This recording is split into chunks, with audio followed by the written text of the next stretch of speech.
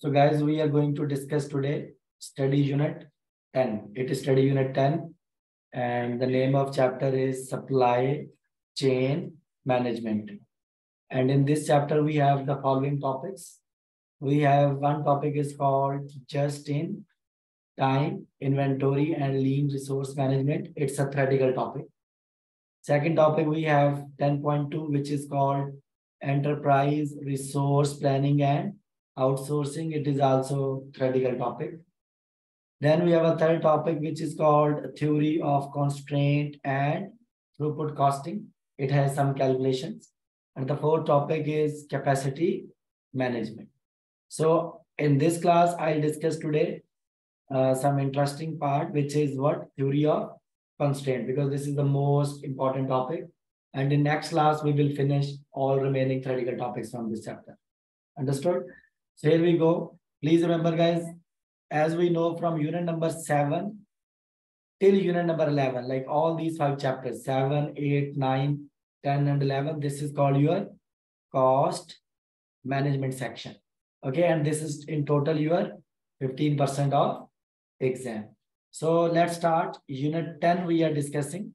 Out of unit 10, we are going to talk about what? 10.3, which is called theory of constraint. Understood? So let me go.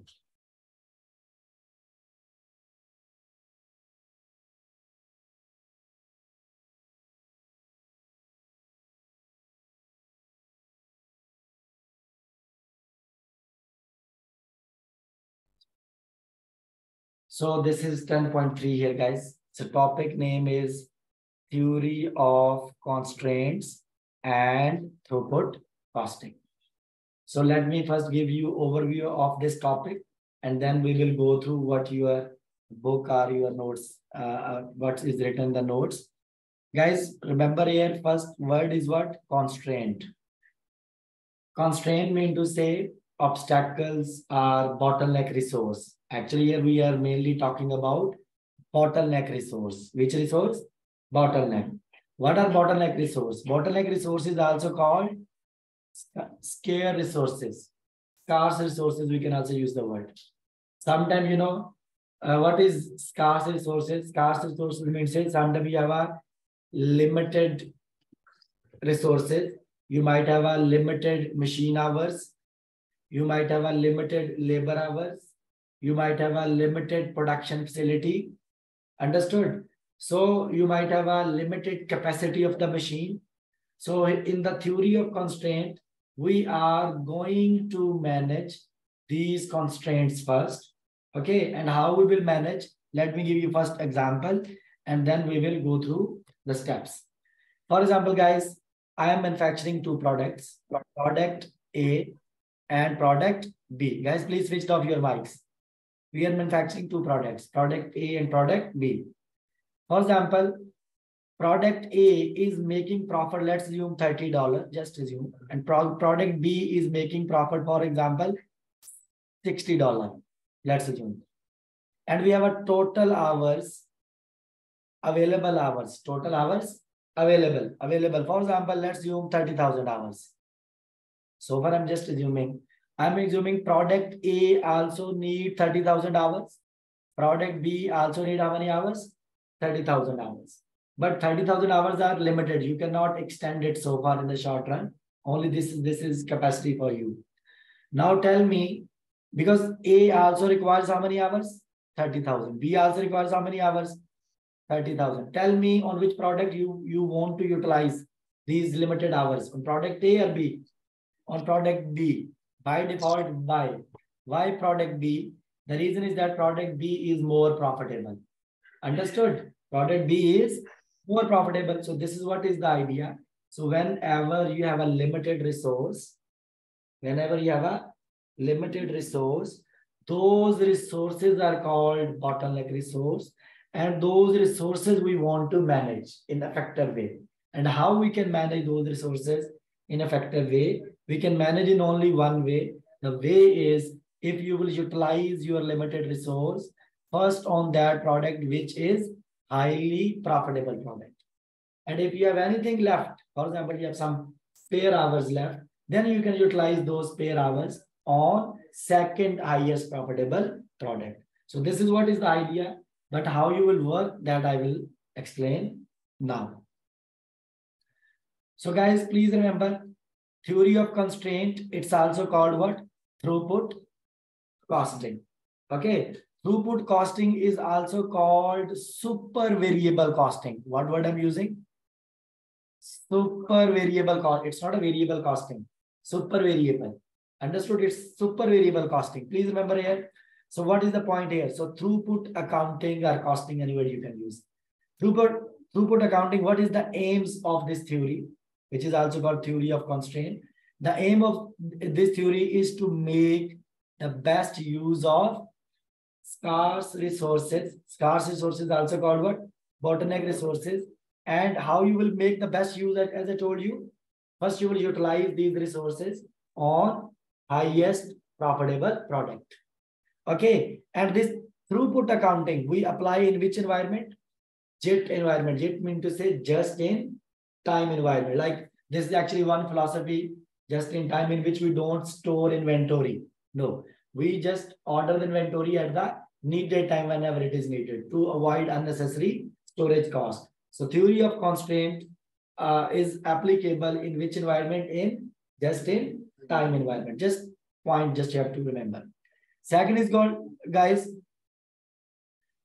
the aim of throughput accounting or throughput costing is to maximize this measure of what? Profitability. Sometimes they will ask you the question, what is the purpose of throughput accounting or theory of constraint. So you would say the purpose is to maximize the profit. And how you will maximize the profit?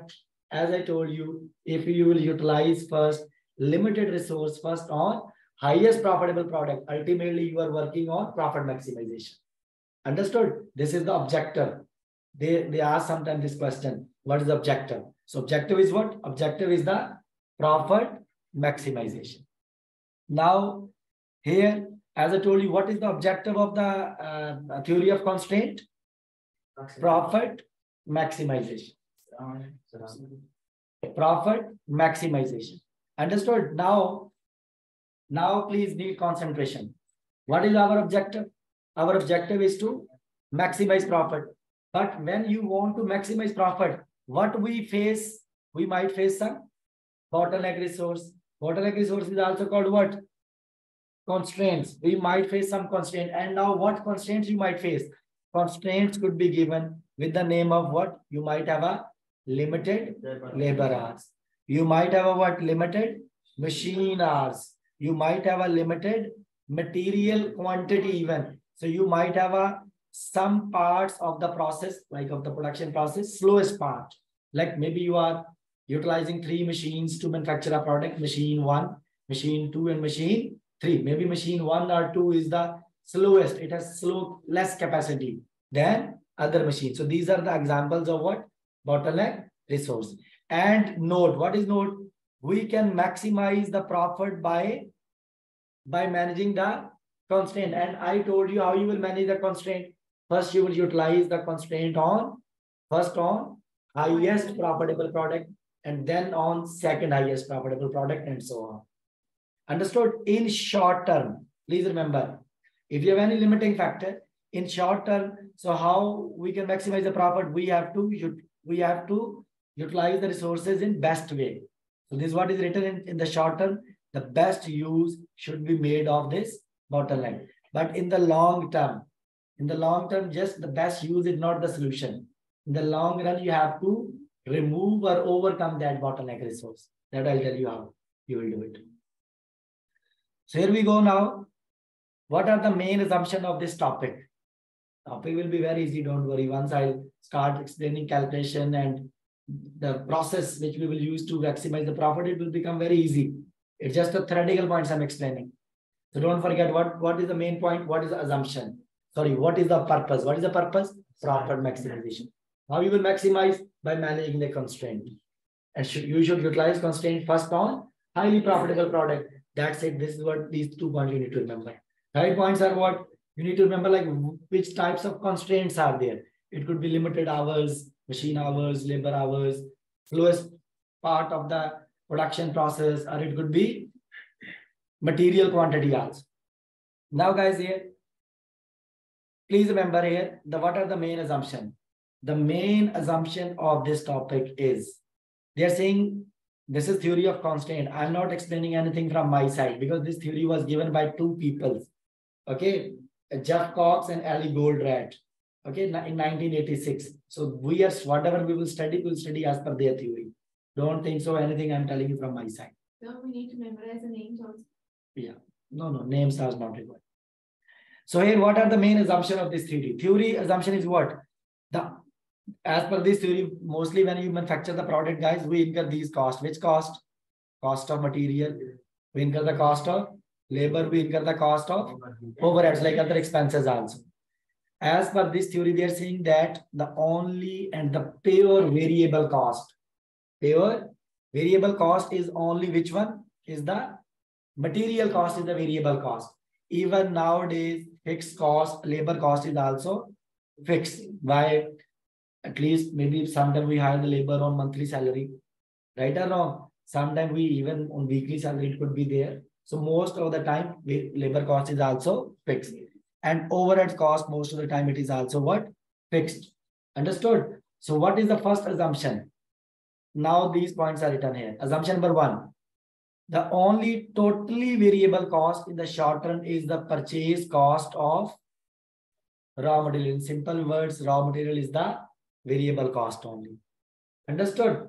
Number two, direct labor costs are not variable in the short term. What's the reason? Many employees are salaried and even if paid a rate per unit, if you're paying maybe on per unit basis, still are usually guaranteed a minimum weekly wage. We are giving them guarantee of minimum weekly wage.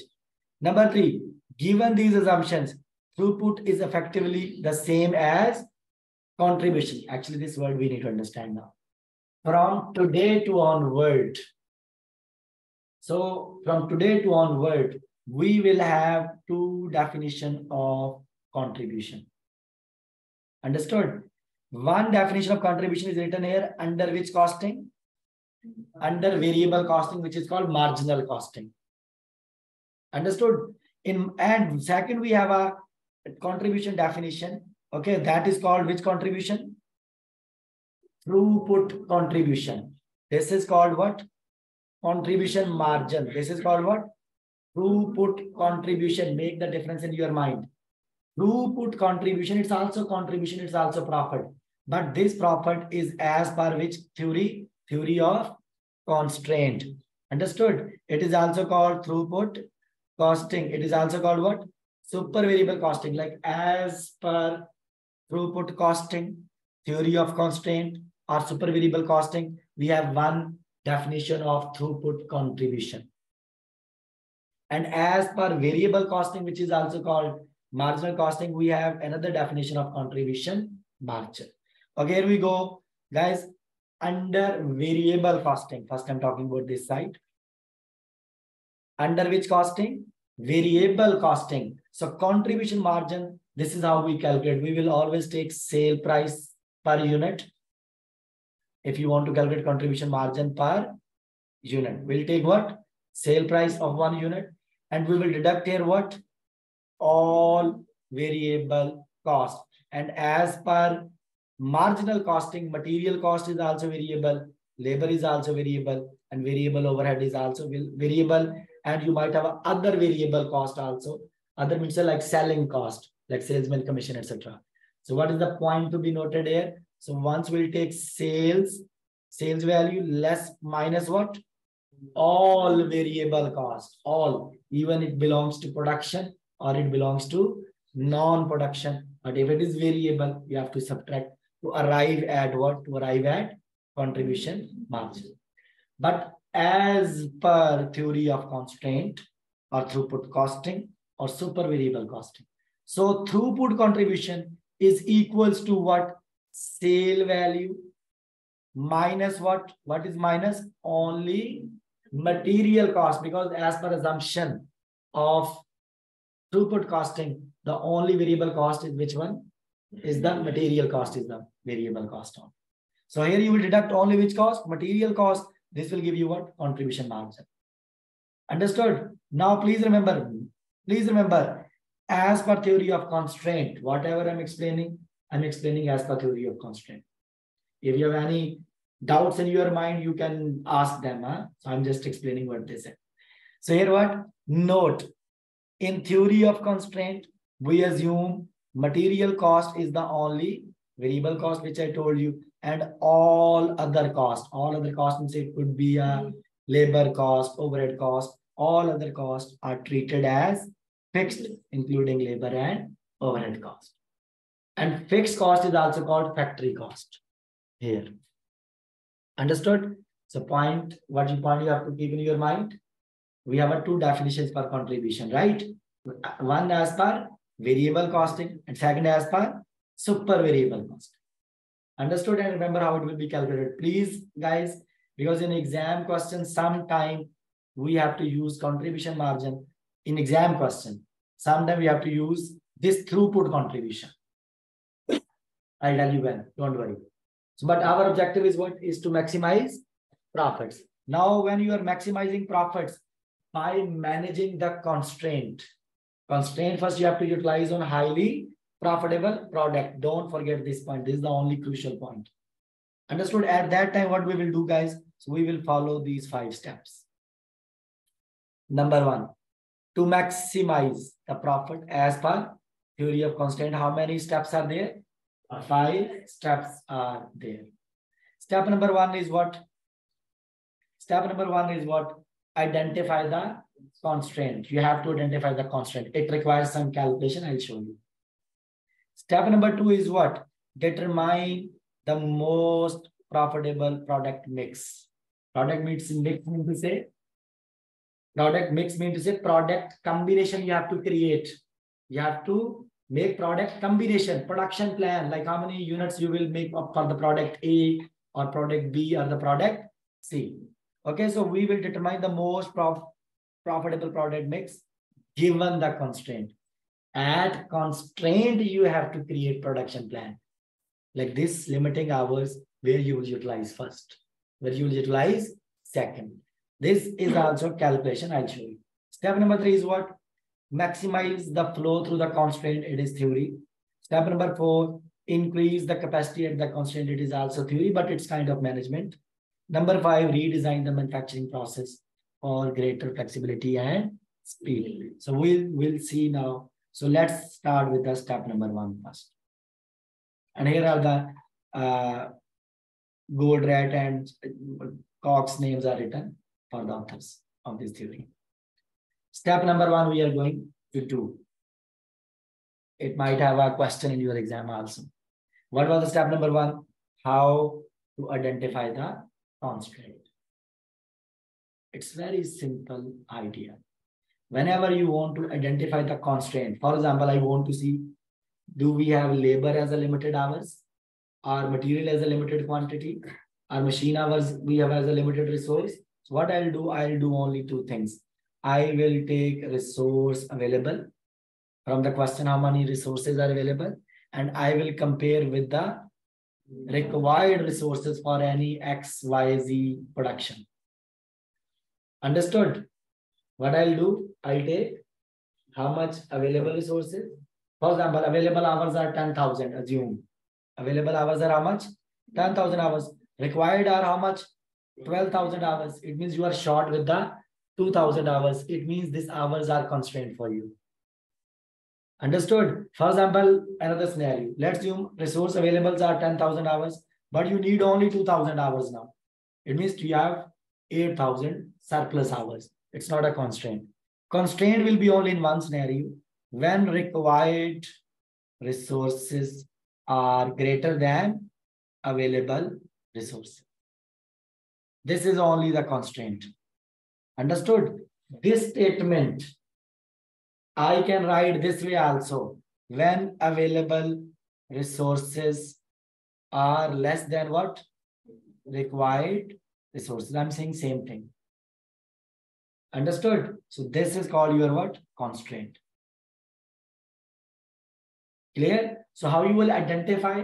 So let me show you with calculations. But I'll do only these two things. What I'll do, I'll take only required resources and I'll compare with the available resources. And I'll see required, uh, required are more or less. If required are more, so then it is constraint. If required are less than available, then it is not a constraint. But I have to maximize profit at the constraint. Don't forget this one. Understood? So here we go. Let's have a look. This is how data will be given in your exam questions. You have to just see. So it's written here, don't worry. If resources available are greater than required, it's not a constraint. If resources available are less than required, it is a constraint, as I told you earlier. So we have example how you will do it. So in your exam question, guys, here straight away data is available. In your exam question, he will tell you stories. He will tell you we have ABC company and ABC company is manufacturing two product, product A and product B and demand in units for product A is how many units? 1000 for product B is how many units?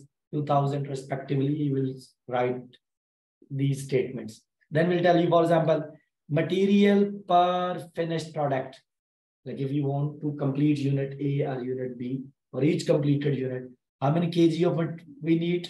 We need 3 kg per product A to complete it. And we need 2 kg per product B to complete it. Then it will tell you machine hours per finished product.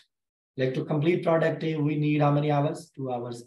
To complete product B, we need how many hours? 3 hours. Understood? Then he will tell you, for example, other information is given. For example, we have a material cost is let's assume six dollar per kg. Then they are telling you total machine hours available how much? Six thousand. And total material quantity available is how much? Ten thousand kg. And you have to identify the constraint, which is our step number one. Understood? So how you will do it? Because you have two things available are given here. Machine hours and what?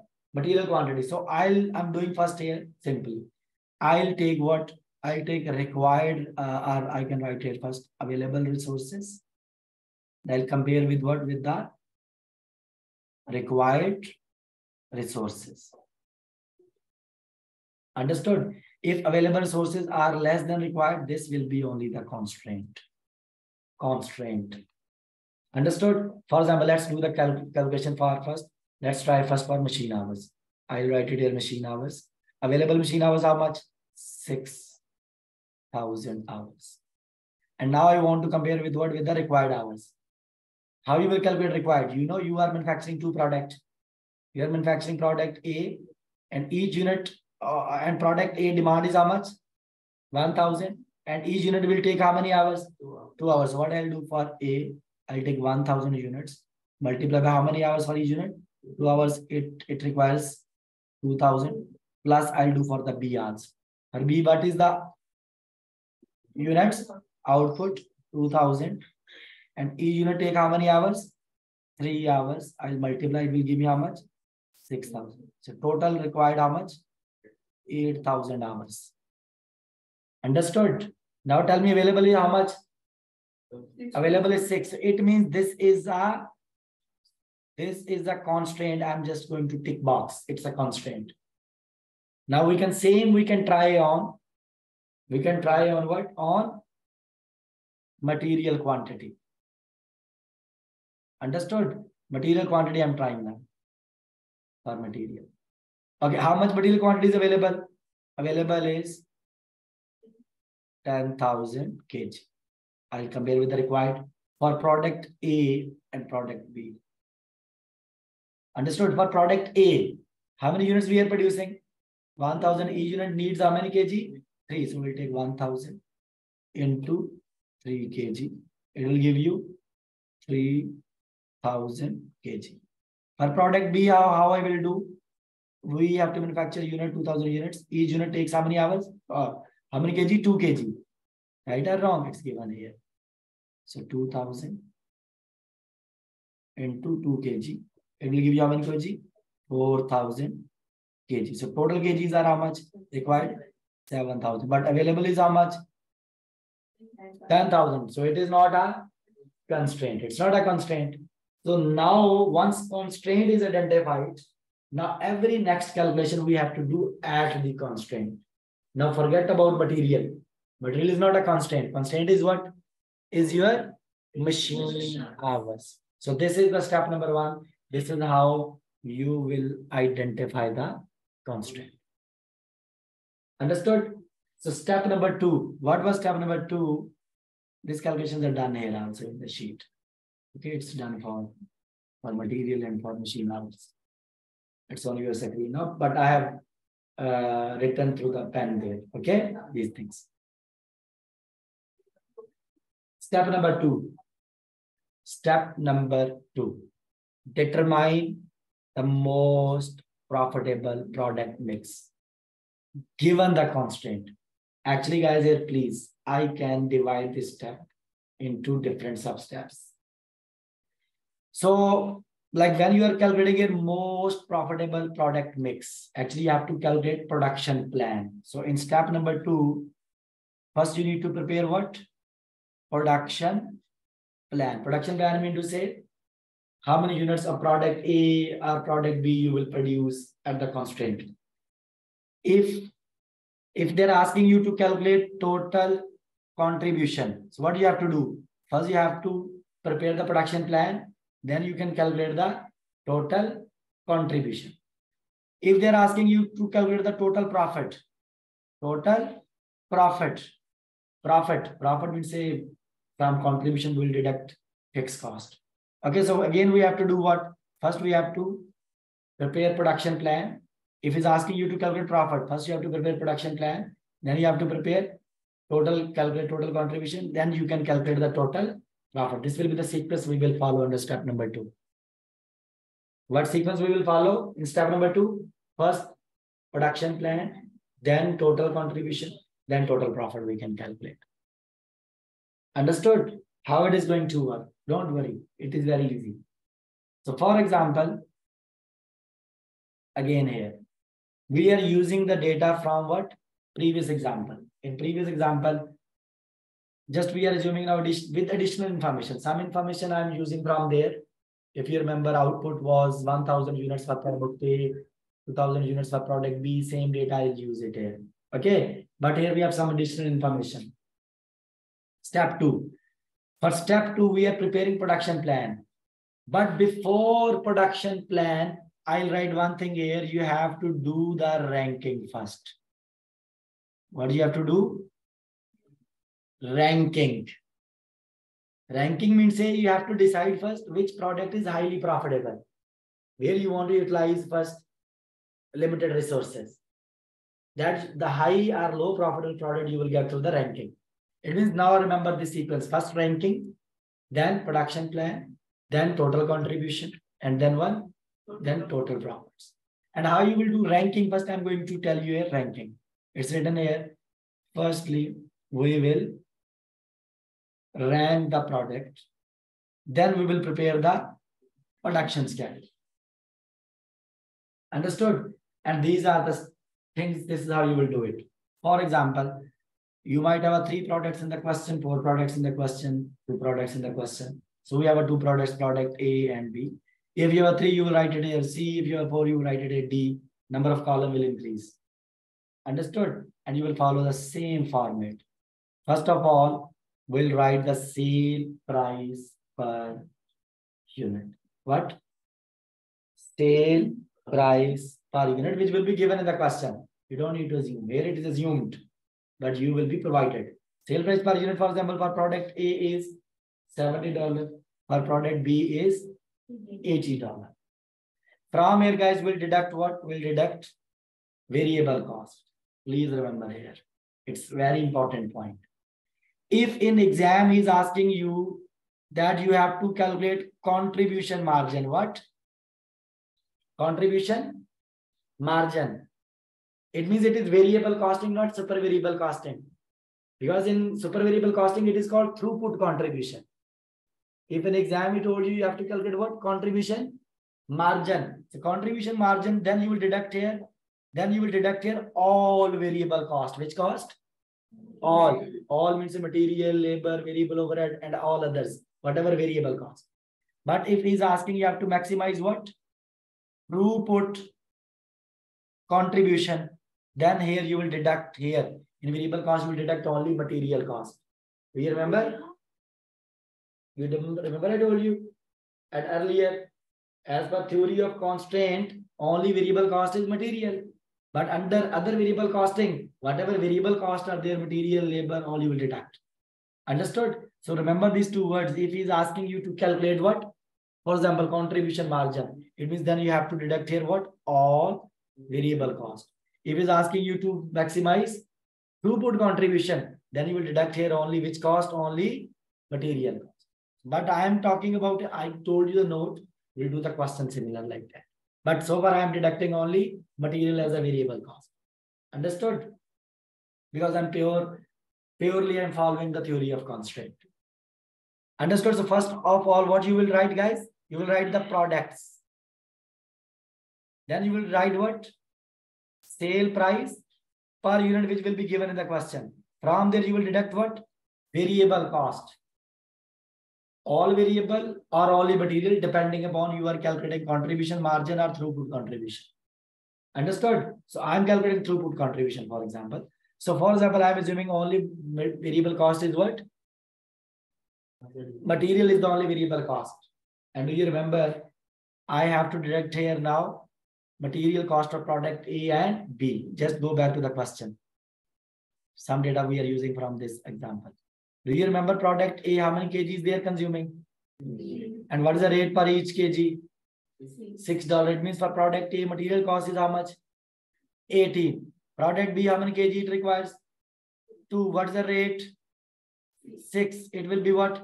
12. So this is what is material cost is deducted here. 18 and 12. Understood for product A, how many kgs we required? 3. What was the rate? $6 per kg, so it's 18. For product B, 2 kgs are required for one finished product. What is the rate? $6, it is 12. So now, once you will deduct sale less mm, variable cost, which I'm assuming only material here, this is called throughput contribution margin per unit. Understood? 52.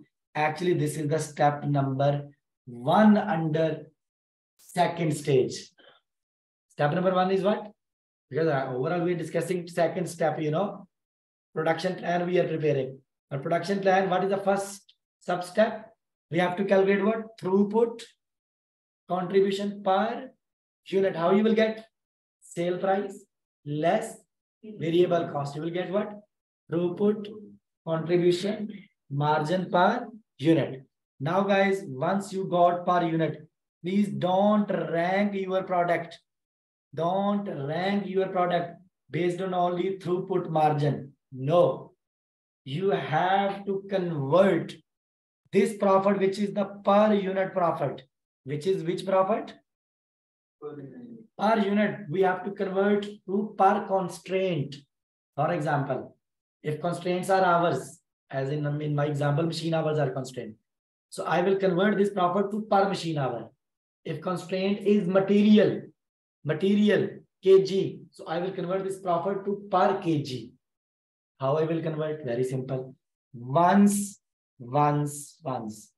Contribution per unit is calculated. After that, simply you will divide. Simply you will divide this contribution per unit. You will divide with what?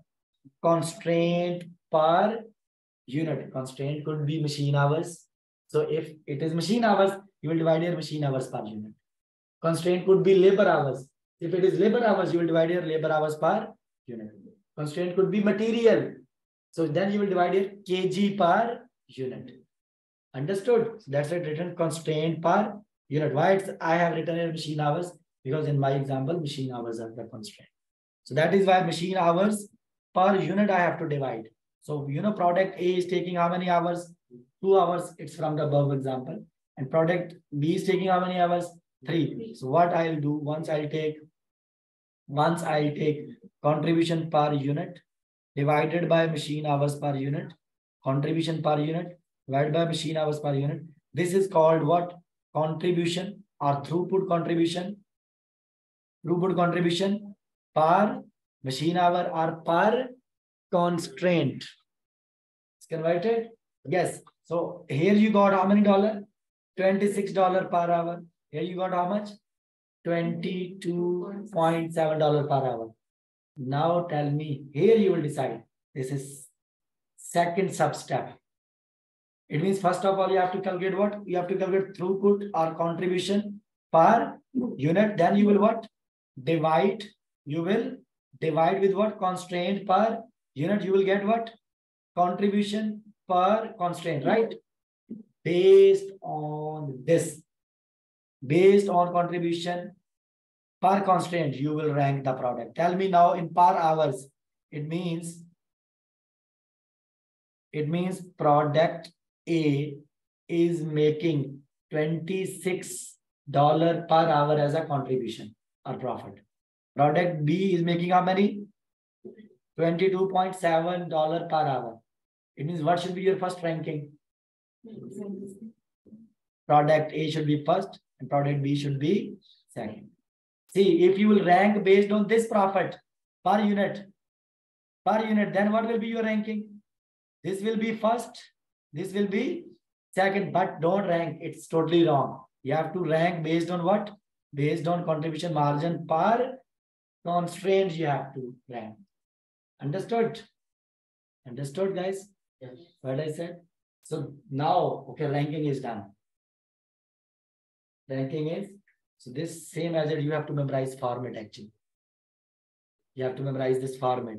right? first sale price, then deduct what? Variable cost, you will get contribution per unit, then divide with the constraint per unit. Okay, so you will get contribution per constraint. And then you will rank. Once this straight away format you have to memorize. Once ranking is done. Now we can, note is written here. What is note? We can maximize the profit if we utilize the constraint. Constraints are what? Machine hours. If we utilize the machine hours first on which product? Mm-hmm. Why? Because product A is on the first rank. And then on the product B, if any spare hours you have. Note, if company, if company is using what? Variable costing, variable. So we will subtract all variable cost to get the contribution, right? I told you, if company is using what? Theory of constraint, we will subtract only material cost. I told you, right? The super cost, right? Super variable. Now we have a production schedule. Don't forget, you do you remember from the question above? I need your concentration. From the question above it said.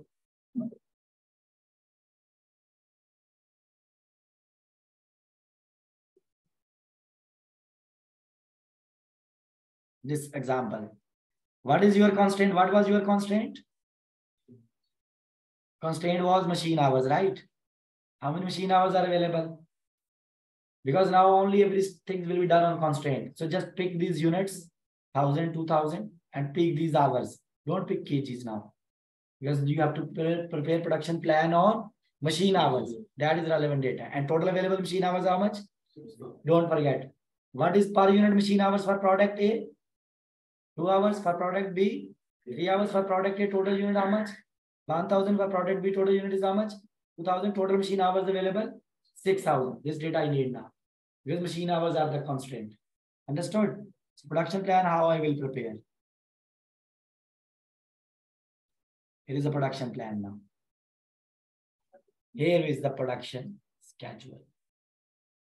First of all you will write here product as per ranking.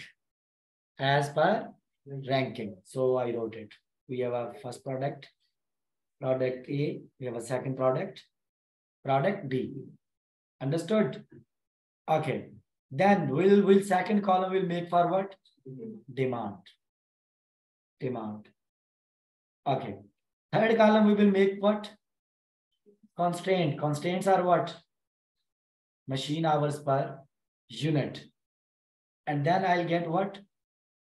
Total hours. Total hours, how I will get, obviously, I will multiply units, which is demand, with the time per unit.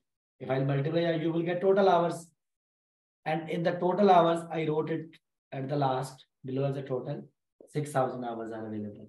I cannot utilize more than that. Understood?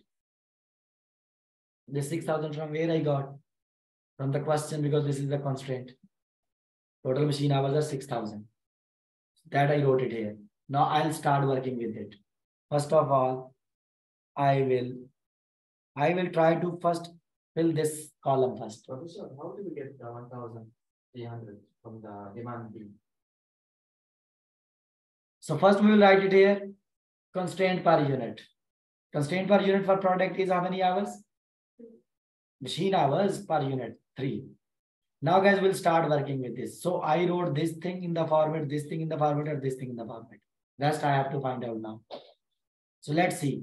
If I write a full demand of product A, which is how much? 1000. So each unit taking how many hours?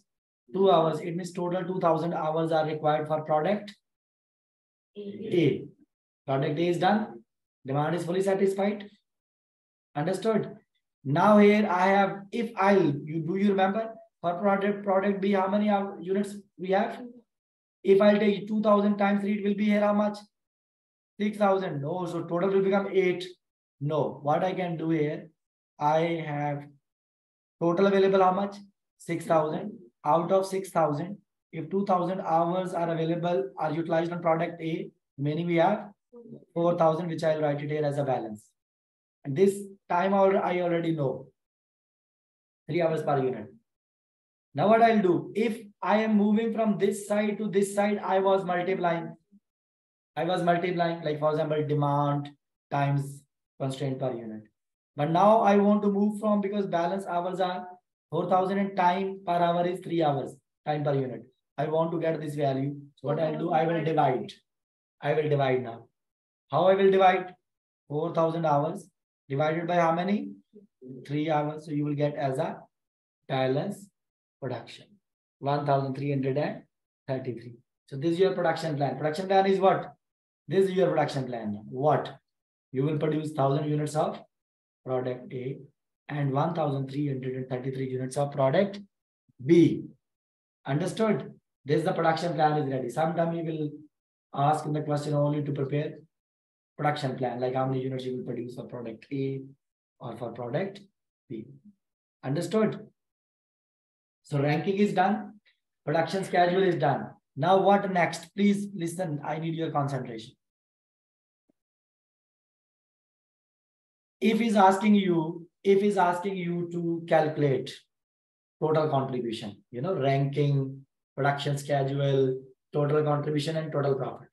If he's asking you to calculate total contribution, first what you have to do? Ranking. Ranking is already done. Second, what you have to do? Production plan. Production plan is already prepared. So it means now I can calculate what total contribution. How you will get total contribution? I have total hours already. I will multiply this, this total hours. I can multiply with what?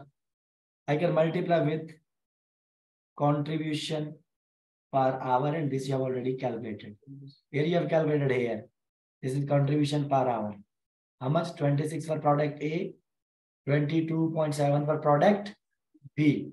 So I pick 26 multiply by 26 and here it was multi 22.7 for B. So this will give me what? Total contribution. For example, 2000 times 26. It will be how much? 50 $2,000. So 4,000 times this can how much? Multiply, please help me. With the calculator, please. 4,000 times 22.7. Ninety point eight. 90,800. Yes. Yeah. So this will give you total contribution. Now, can you add these two values? One forty-two. One, One eighty-two. 142. This is your total contribution. Done? If you want to calculate total profit now, total profit now. So what you will do from here, you will deduct. This is your total contribution from all product, right? Total contribution from all product. From here I'll deduct what all fixed cost. Fixed cost includes what? Labor as per theory of constraint. Overheads, all fixed cost I'll deduct. So this will give you what? Net profit or operating profit, and what you can use. Understood? This is how you will work with the calculation side. Don't worry, I'll do the question with you. First, we are we are done till this. Understood? So now this is easy. There is nothing. You have learned two calculations so far. How to identify the constraint. Second calculation, you have learned how to rank the product. Third, how to prepare the production schedule. And then obviously contribution is easy and profit is also easy. Understood? Now, let me show you income statement here. Please remember.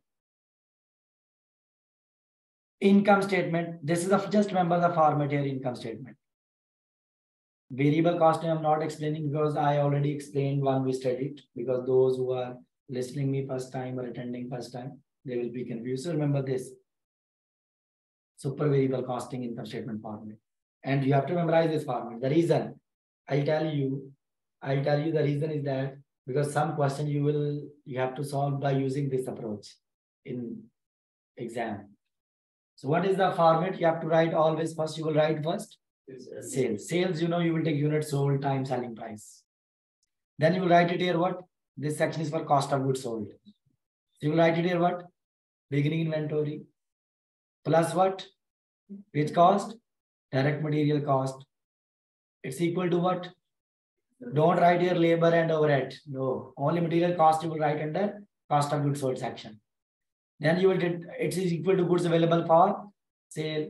Then you will deduct here what? Ending inventory. And you know, please guys remember ending inventory value, how you will get under super variable costing. You will take, I'm calculating which value? Ending inventory value. Under which? Under theory of constraint. So you will take what? Unsold units are called ending inventory, right? Which are not sold.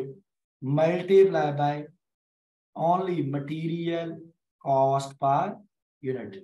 Because material is the only product cost as per super variable costing. Understood? What we will take? Don't forget. Don't take it light, light answer Because you will do this mistake.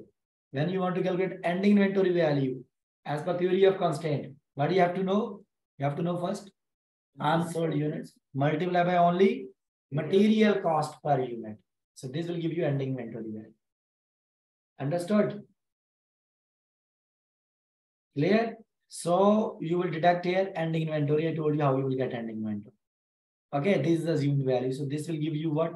Super variable, like what opening inventory plus material cost minus ending inventory. This will give you super variable cost of goods sold. From, from sale, once I'll deduct cost of goods sold. This is called what? Why throughput? Because we deducted only material cost, by the way.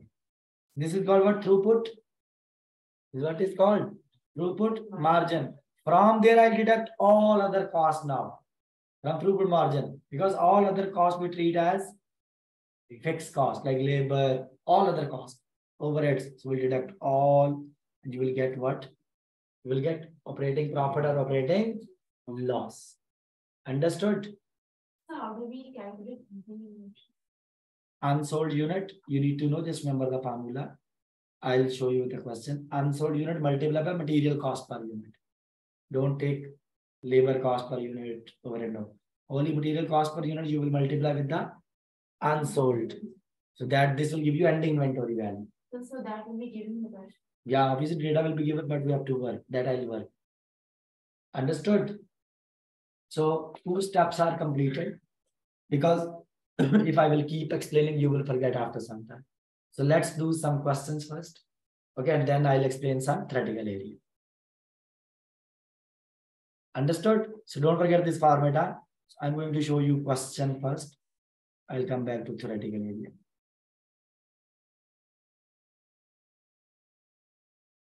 We have a first question on your screen. And I would request you please read this question, guys.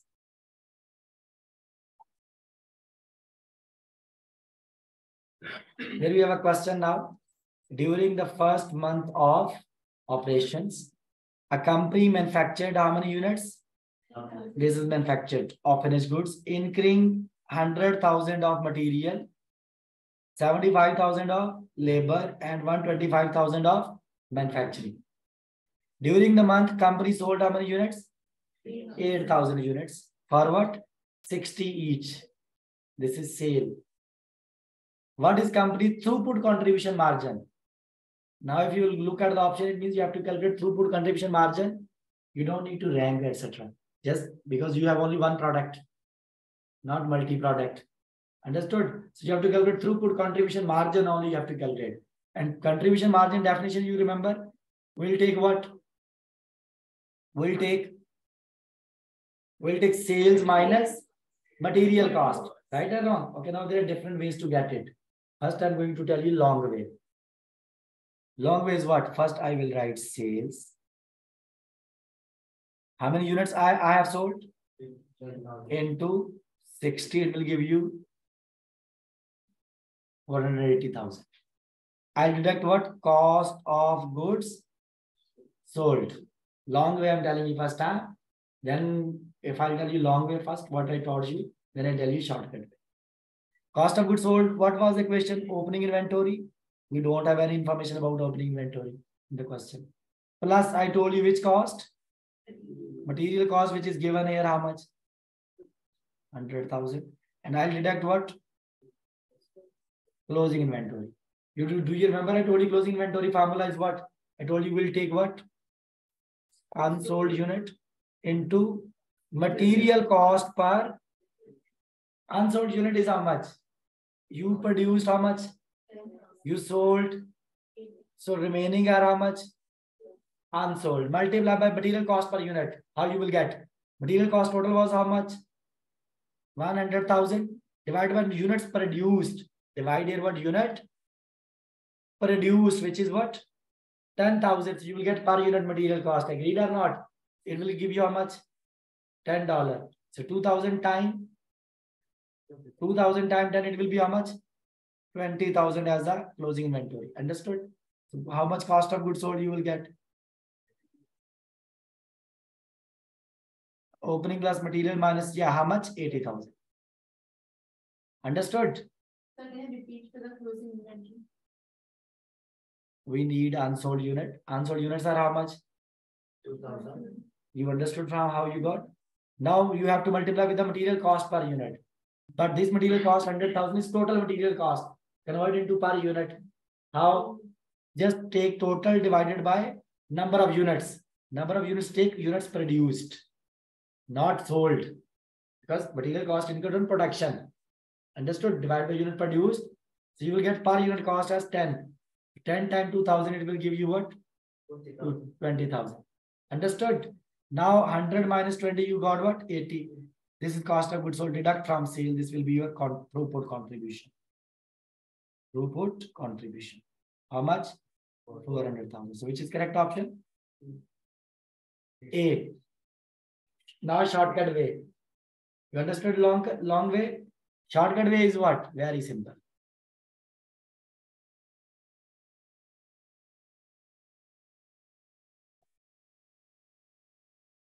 Shortcut way I'm telling you. Always take what? Always take sale price per unit minus material cost per unit because I'm talking about throughput. If it is contribution margin, I will deduct all variable cost, but it is throughput contribution. I deduct only which cost? Only material cost per unit. Sale price per unit is how much? 60. Material cost per unit is how much?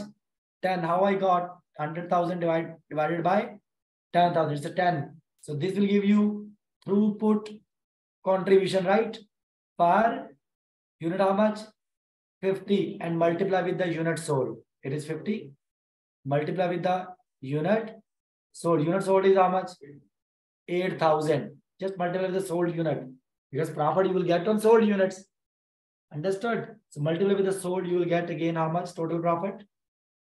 Total contribution will be how much? Four hundred thousand. This equation, okay? What you have done? Sale price per unit minus variable cost per unit, whatever it is, equals what? Contribution per unit multiply by unit sold, you will reach to directly contribution, total contribution. This is shortcut, right? Understood? See, these ways you need to learn through the practice. Now, one more question I'm showing you here. This theory you can do it by yourself. Now we have a fact pattern here. Another question, it's a bit long question.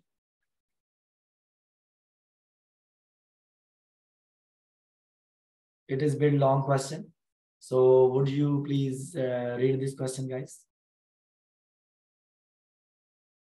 I'm reading the question now. Always try to read the requirement first, as I told you. So guys, first of all, due to plant renovation, laser will limit limited to 1 million machine hours. This is constraint. 1 million machine hours. What is maximum amount of what? Is it throughput contribution or contribution margin? Contribution margin, it means you are using variable costing now, not super variable. Right or wrong? So now let's read the question.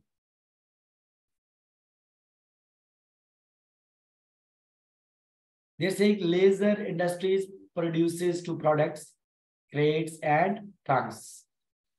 Per unit selling price, cost, and resource utilization for these pro products are as follows.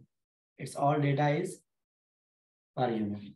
Understood? For example, you have a per unit selling price, direct material, direct labor, variable overheads, variable selling cost. So all these are variable cost by the way. Understood? And we are we are given with what? Machine hours per unit because machine hours are constrained. Per unit how much? Two hours and four hours.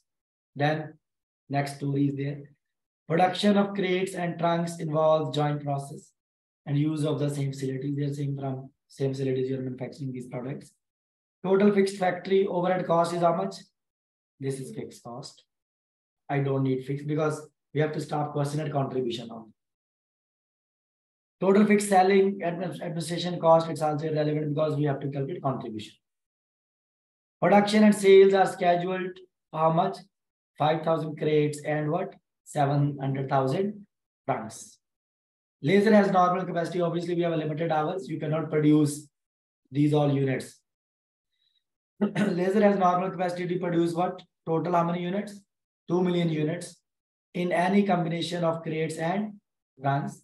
And it maintains no direct material work in process, no finished goods. But what capacity you have, that is another story. But right now you have what? 1 million machine hours available. So what I'll do, quickly I'll follow my way. We can do quickly very simply. So first of all, I'll take a, I'll follow the format sale, price, minus what? All variable cost. Why? Because I'm calculating what? Contribution margin per unit I'll get. So we have two products, C and what? T. Sale price how much? 20, 30. Do quickly. Can you guys add these all variable cost? 8 plus 5, 13, 16, 17, right? Contribution per unit will be a 3. What about this? 22. Contribution per unit will be what? 8. So I divide quickly because I have limited hours, what machine hours. I will divide this. Right or wrong? Divided by machine hours per unit. For C, how many hours? 2 hours. For uh, T how much? 4 hours. I'll get what? I'll get contribution per machine hour, which is constraint. It is 3 over 2, it is $1.5 per hour. And it is how much? $2 per hour. Which is best? This is first priority, right? Trunk is the first priority. We'll make quickly schedule now. What's the problem? Production schedule, then I can move to the contribution. Right or wrong? So what I'll do, I'll write the product. Product. Then I'll write it here, units. Then I'll write it here, machine hours per unit. And I will get what? I'll get total hours. Understood? It's a bit long, but you have to learn. If you will be in the practice, you can do it very quickly on calculator even. So I have total hours available. How many hours? 1 million. And you know for the trunks, what is the demand is given? Because trunks we have to make prepare first. Trunks demand is how much? 700,000 is given here, right? I take 700,000 trunks. 700,000. And for trunks, what is time per unit? Four hour is given here, see? Given here time per unit. It's time per unit, guys, machine hours per unit. Four, understood? I'll multiply with the four. If I'll multiply with the four, how much it is? It is 2.8 million. It is how much? 2.8 million. It means I cannot produce all 700,000 units. Agreed? Because I have available only how much? One. So what I have to do, I will write it here 1 million hours because this is what I have total available. And I need to remove this. And here I have to calculate balance value now. I'll go back. 1 million hours divided by 4. I'll get what? 250,000 units. Understood? 250,000. This is the production plan. And now, how many hours? 1,000. What is per hour profit? $2. If I multiply with the contribution per hour, which is 2, I can get total contribution, right? I can get what total? Contribution, how much? 1,000. It will be 2 million. Actually, this is what he is asking. I can do directly, guys. You know what is the shortcut way? Now you want to know shortcut way? This you don't need to calculate units. 250,000 khali wali. We don't need this 250,000. Once you know this product is this product is highly profitable, $2 per hour is there. And you know this whole 1 million is going to utilize on product P. So what I'll do directly, I can take 1 million times 2, which will be give me total profits. Understood? I'm saying that when we know that only 1 million hours are available and 700,000 units cannot be produced whole, it means less than 700 like 250,000 units you have to produce. You don't need to calculate these units also. Once you will realize, once you will in practice, you will automatically you will realize these things. So will take 1 million is the total hours are available, which is whole units, whole hours are going to utilize on trunks. Trunks. So I'll take these hours directly with this what? Two hours per dollar per two dollar per hour is the contribution. Total profit will be what? Two million. You don't need to show this working back, etc. Understood? There's other way also I can tell you. But it's enough. Unnecessary story. Mm-hmm. Understood?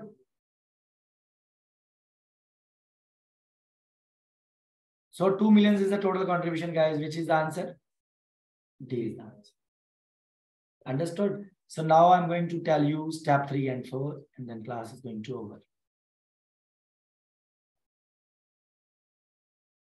These steps requires some clarification, some discussion.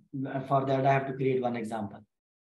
Okay, I'm creating one example just to understand. So understand step three. Okay.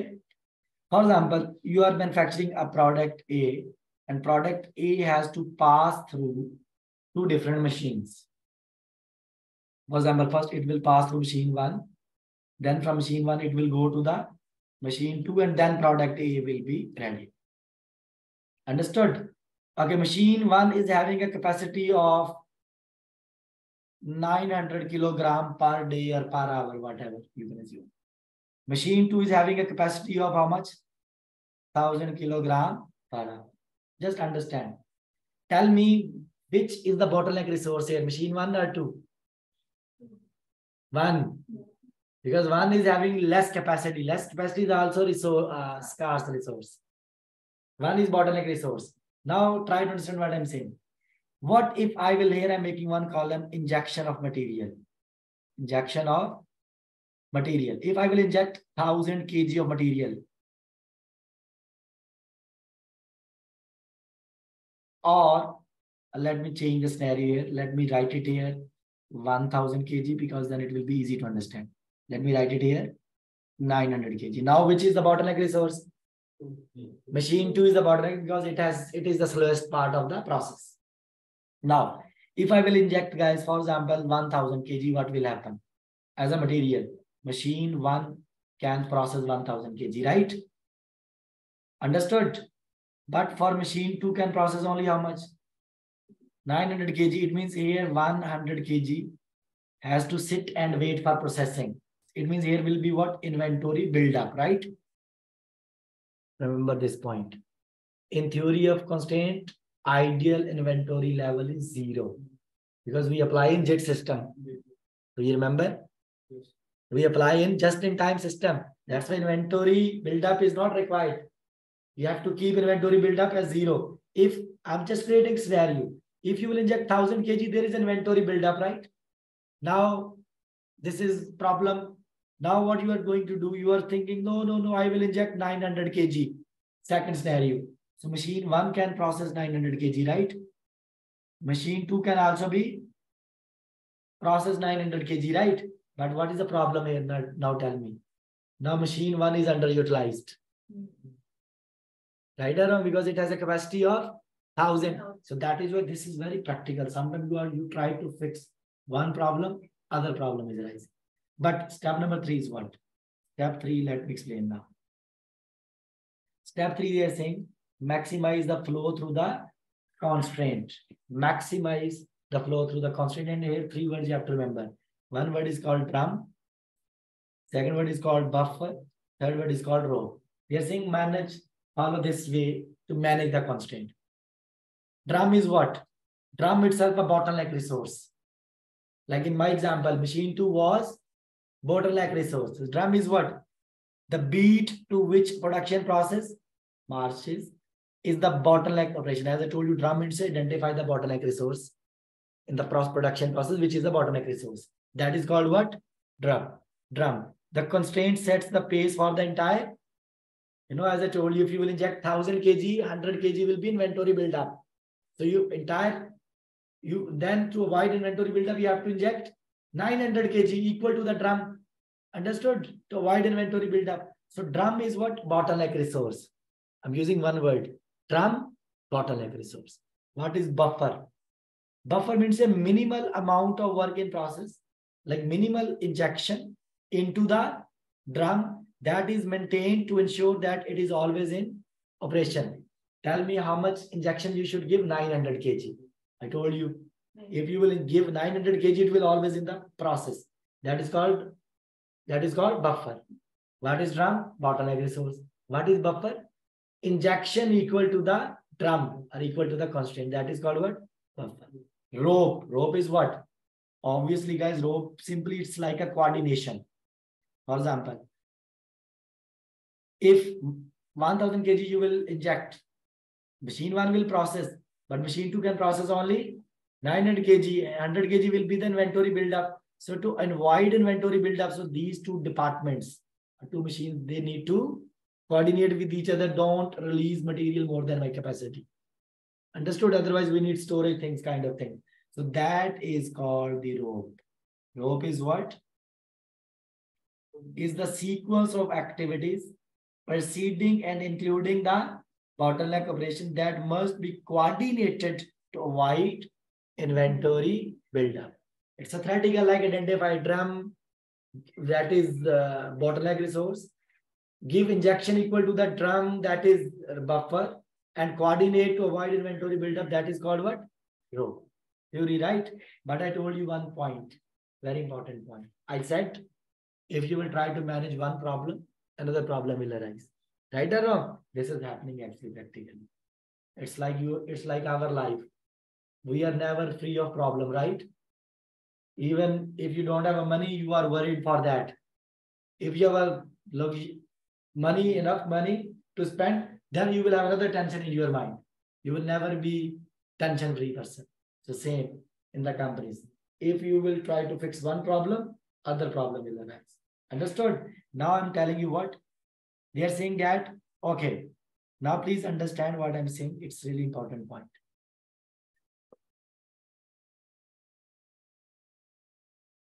They are saying, okay, look at the point here. What I said?